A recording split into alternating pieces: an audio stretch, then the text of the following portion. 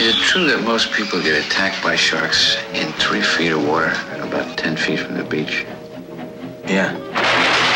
A shark is attracted to the exact kind of splashing and activity that occurs whenever human beings go in swimming. If you forgot what terror is like, the original Jaws is back for two weeks only. Rated PG.